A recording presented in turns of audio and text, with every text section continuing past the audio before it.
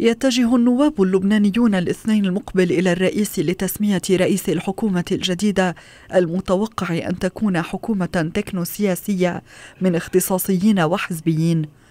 ورغم ارتفاع أسهم سمير الخطيب لتولي المهمة لا يزال الباب مفتوحا أمام مفاجآت الساعات الأخيرة.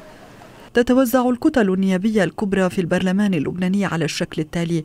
تكتل لبنان القوي يضم 26 نائبا وكتلة المستقبل من 18 نائبا وكتلة التنمية والتحرير تضم 17 نائبا. وكتلة الجمهورية القوية من 15 نائبا وكتلة الوفاء للمقاومة تضم 12 نائبا وكتلة اللقاء الديمقراطي من تسعة نواب.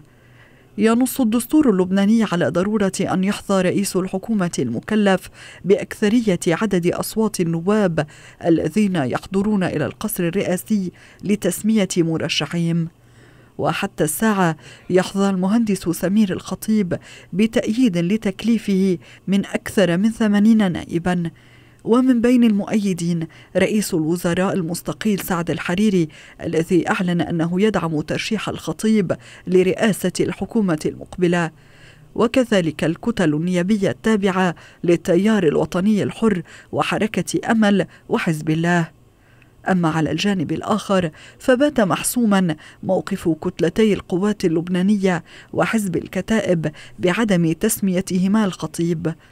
كما أعلن رئيس الوزراء الأسبق نجيب ميقاتي أن كتلة الوسط المستقل التي يرأسها ستسمي سعد الحريري لتشكيل الحكومة الجديدة. رئيس الحزب التقدمي الاشتراكي وليد جملات لم يحسم موقفه النهائي بعد لناحية اختيار الحريري أو الخطيب لكنه أكد أن حزبه لن يشارك في الحكومة وسيسمي من وصفهم بالكفاءات الدرزية لتولي حقائب وزارية.